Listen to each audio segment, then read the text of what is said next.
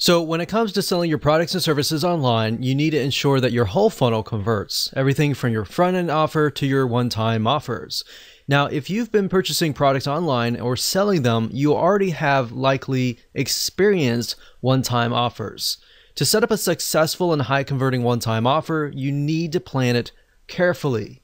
You see, one time offers aren't anything new. In fact, you've probably already seen them at fast food restaurants that use them to increase the size of your initial order.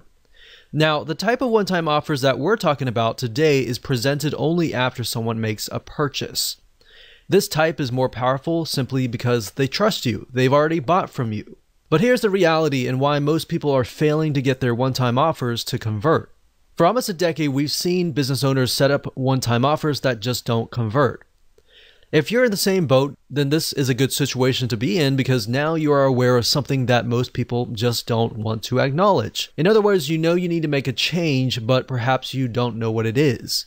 While we can't guarantee your success, if you want to know the blueprint on how we get 75% converting OTOs and higher, then this is for you.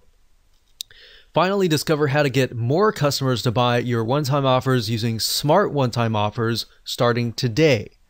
This video course will take you behind the scenes to help you understand how to achieve more sales without spending days or weeks banging your head against the wall trying to figure things out. Here's a quick video's overview of what's inside this video course. Video number one is the introduction and quick overview, so we'll talk about the course and as an overall view. Video number two, we'll talk about why you must have one-time offers.